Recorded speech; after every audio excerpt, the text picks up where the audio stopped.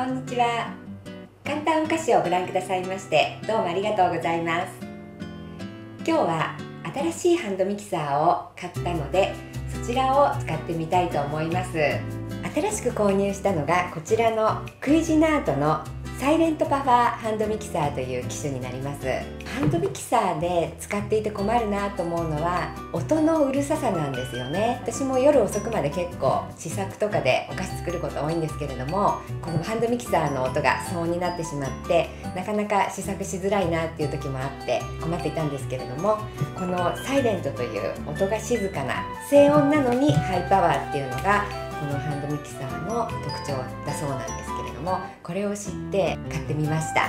つい先ほど届いたばっかりなんですけれども早速こちらで皆さんと一緒に使ってみた様子を見てみたいと思ってアップすることにしました。こんな感じになっています。今までのものよりもちょっとコンパクトかなって思った感じの感想なんですけれどもこちらが今まで使ってたクイジナートなんですよね。でこちらがあの新しい方のものなので重さもちょっと軽くなったかなって気がしますね。はい。あと持ちやすいです。すごく。クイジナート使う前にパナソニックのハンドミキサーを使っていたんですけれどもそちらに近い感じです。思った感じとかがね。はい。なんか懐かしい感触が しています。ワイヤー部分なんですけれども今度は2本のワイヤー1組がセットですね。今ではこういう2本の他に泡立て器のようなホイッパーのようなタイプのものがこれまで使っていたクイジナートのハンドミキサーにはついていたんですけれども今回は2本のもの1組になりますね。どのぐらい静音なのかっていうのをちょっと聞いてみたいと思います。じゃちょっと音だけやってみますね。あすごい静かです。これ今、えーと、切り替えが6段階なんですけれども今1ですね。これが2 34。56今まで使ってたクイジナートの方は割と高音もっと高音の音だったと思うんですけれどもこっちはもうすごく低音で静かな感じがしますね。ちょっと今までのものも聞いてみましょうかね。今までのものがこちらになります。じゃあいきます。1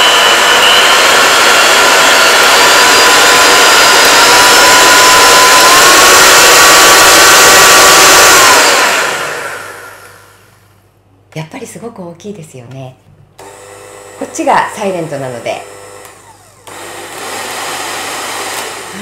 サイレントの一番最高速度がこちら。今まで使ってたものの最高速度の音がこちらですので結構違うことが分かりますね。これだったらちょっと夜でもね大丈夫じゃないかなって思います。じゃあちょっとねパワーも知りたいので実際にお菓子作ってみますね。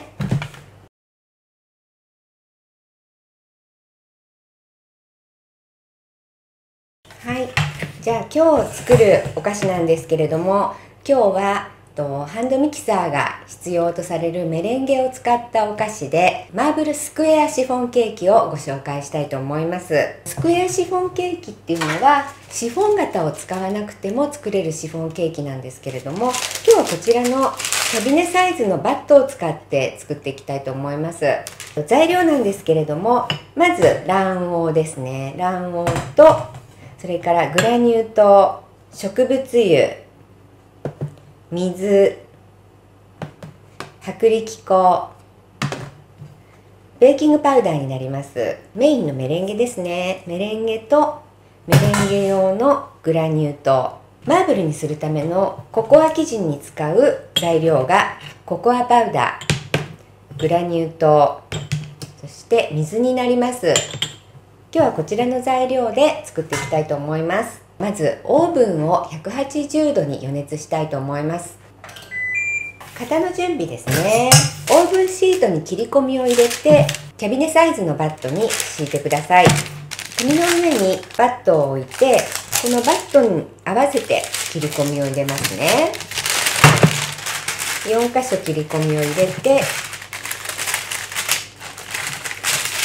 敷き込んでください。はいこんな感じです。そそれでは生地を作っていきたいと思います。まず卵黄生地ですね。メレンゲの泡をきめ細かく立てるために卵白は使うまでボウルごと冷蔵庫に入れておいてください。それではまず卵黄にグラニュー糖を加えます。これをよく混ぜてください。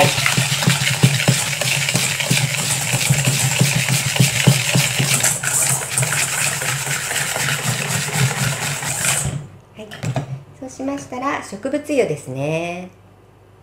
数回に分けて加えます。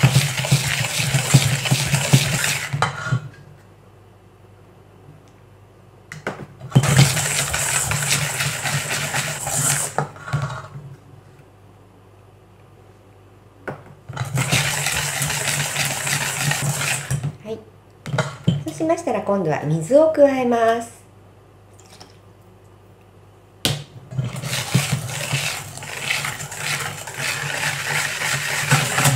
今度は粉ですね。薄力粉。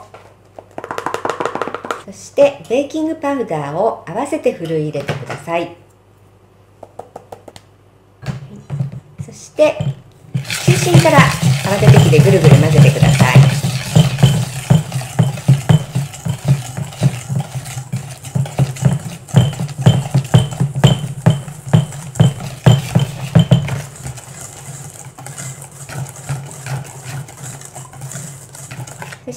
ボウルは置いておいてください。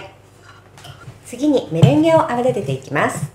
卵白にグラニュー糖を入れて泡立てていくんですけれども最初はまず何も入れないで泡立て始めます。じゃあ使ってみますね。前のはね入れる穴が2箇所同じ大きさだったんでちょっとどっちにどっちを入れるのか迷うことがあったんですけど今回は穴の大きさが違うのですごく見分けがついていいですね。はい。じゃあ立てていきます。ぱりびっくりするぐらい静かですね。ちょっと感動してます。すごいすごい静かですこれ。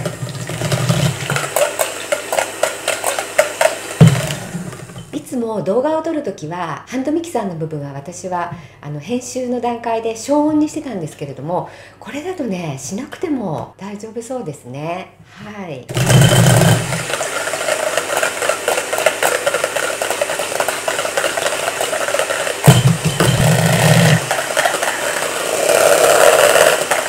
今最高速度で食べてますじゃあもうね石鹸の泡のようにこう立ってきましたので砂糖を3回ほどに分けて加えていきたいと思います。まず1回目ですね。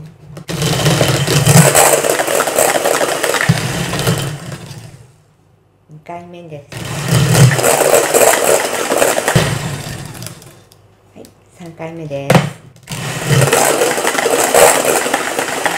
前はあのあまりにハンドミキサーの音が大きくて高速もう最最高速度なんていうのは絶対に使ったことがなかったんですけれどもこれはもう全然最高速度でもこの音なのでもう余裕で夜でも使えるんじゃないかなと思います。すごいあっという間に経ちました。音が静かだとパワーが弱そうな気がしてしまうんですけれども全然そんなことはなくてしっかりこういう風にね角が立ってますのでパワーも大丈夫ですね。はい。高音のキーンっていうのがないのでそこがすごくストレスにならなくていいと思います。次にココアソースをね作っていきたいと思います。今日はねマーブルにしたいので生地の一部をこのココアソースに混ぜ込んでいくんですけれどもまずグラニュー糖にココアパウダーを加えてください。泡立て器でねまずなじませてください。とココアとか抹茶っていうのは単独で使うとちょっとダマになりやすいんですけれども砂糖と合わせてやるとねさらっとした状態になって液体に溶けやすくなりますのでそうするとねココアの色がはっきり出るんですね。そしてここにお水を加えます。少しずつ加えるとかえってココアに水分が吸収されてしまってペースト状になって混ぜにくくなっちゃったりするんですけれどもあの一度に加えてやるとこういう風にしてね滑らかな状態になりますので。でここでねよく混ぜちゃってください。はい。こんな感じですね、はい、もう一度ちょっと混ぜますね。卵黄生地の方に先ほど泡立てたメレンゲを加えていきます。でまずメレンゲの3分の1ぐらいを加えてください。ね。そしてこれは泡立て器で混ぜてしまって結構です。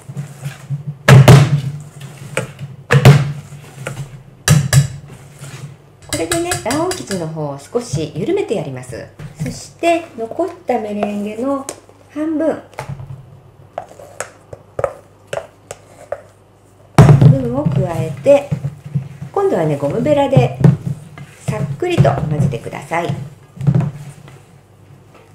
さっくりとね混ぜますね。そして残りのメレンゲを加えていきます。新しいハンドミキサー使うのは本当に何年かぶりなんですけれども嬉しいですね。ワクワクしますね新しい道具を使うっていうのはね。ねお菓子作りのモチベーションを上げるのにいいんじゃないかなって思いました。それではね残りのメレンゲも混ぜていきます。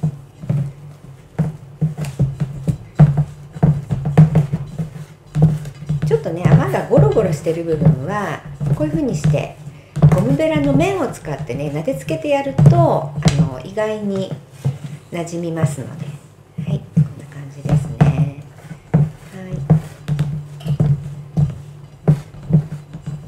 こんなにしっかり立つと思わなかったのですごいですね。はい。生地のだいたい4分の1ぐらいですね。ちょっとどのぐらいか測ってみましょうね。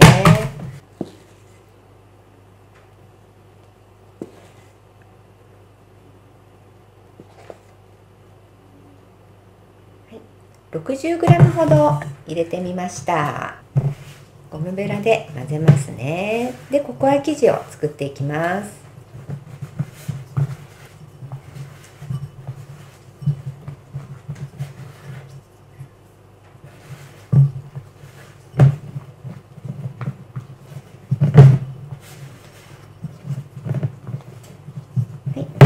これでバニラとココアの2種類の生地ができました。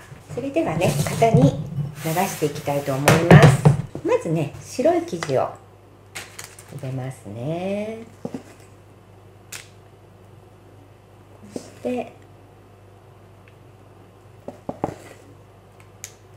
何箇所かに分けて入れます。そしたら今度は黒い生地を入れますね。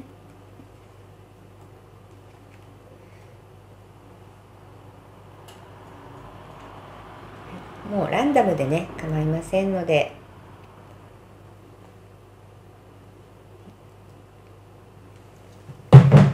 そしてまた白い生地を入れます。今度はねできるだけ今黒い生地を入れた上に白い生地を入れてやると色が重なり合ってバランスがいいかなと思います。そしたらまた黒い生地ですね。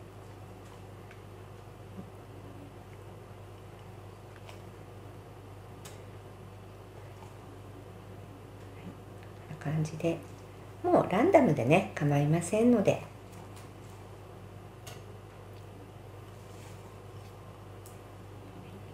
白い生地一応残しておいたんですけれどもこれをまたのせます。黒と白の割合っていうのはお好みでいいんですけれども黒の方が色が強いので銅割りにしちゃうとなんか全体に黒っぽく見えちゃうんですよね。ですので色の濃い方をね少なめにしてやるとマーブルのバランスがいいと思います。そしたらですねえっと菜箸の裏こっちの太い方でマーブル状にしたいと思います。はいこんな感じで。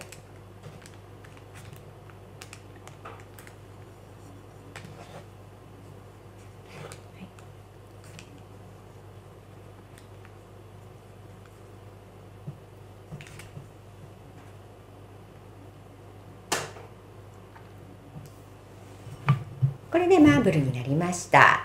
オーブンの天板にのせてはい真ん中に置いてください。で180度に予熱したオーブンで25分ほど焼きます。焼き上がりました。焼き上がったらすぐに台の上に一度落として衝撃を与えてください。そうすると中の蒸気が抜けて焼き縮みが少なくなります。一応竹串で刺してみますね。生の生地がついてこなければ大丈夫ですので、はい、すぐに型から取り出します。とても軽い仕上がりですね。持ってみると軽いです。これで完成です。今日は購入したばかりのクイジナートのサイレントパワーハンドミキサーを使ってマーブルスクエアシフォンケーキをご紹介しました。使ってみた感想はやはり音がとても静かだなというところとパワーはさすがクイジナートと思わせられるものでした。これからいろいろなお菓子に使ってみたいと思います。ご興味を持たれた方は概要欄に購入先を貼っておきますのでご覧になってみてください。ご視聴ありがとうございました。た次の動画でよろしくお願いいたします。